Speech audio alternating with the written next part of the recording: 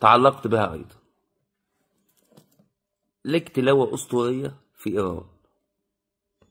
أنا شفت ردود الأفعال الناس اللي قاعدة الإيرانيين مع كل هنة ووقفة وتجويدة وأحكام وتلاوة.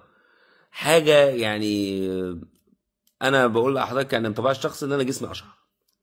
فالحاجات دي بتبقى كواليس إيه وبتحضر لنفسك لا إزاي؟ الحمد لله. يعني أنا رحت إيران لغاية سنة 2014 وما رحتش من سنة 2014 آه يعني آخري 14 بالظبط كده. آه لا هي قراءة عادية. بس هو المناخ يعني يعني إيه؟ آه الميكروف- الميكروفون كويس. الجمهور سميع. ال- الواحد مرتاح وبيقرا نص ساعة بس. مش هقرا مثلا ثلاث ساعات في حتة ثلاث ساعات بوزع مجهودي لكن ده نص ساعة ولا 40 دقيقة بقول فيها كل حاجة ومش هقرا لا قبلها ولا بعدها. فبتطلع إيه؟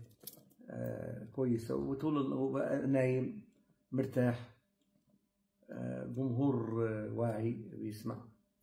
هذه السبب يعني. بيحبوا هم القراء المصريين؟ لأنه برضه عبد الباسط كان ليه برضه تلاوة في إيران آه، كانت رهيبة برضه. لا طبعا طبعا. آه.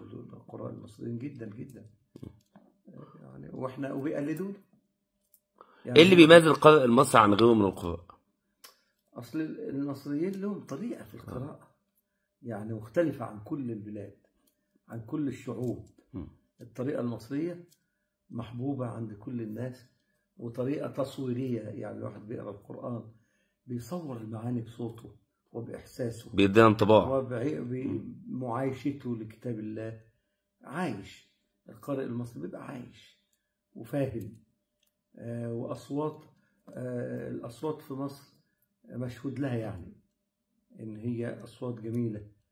آه، في مصر. والطريقة طريقة آه، فريدة. ما فيش بلاد يعني بتقرأ.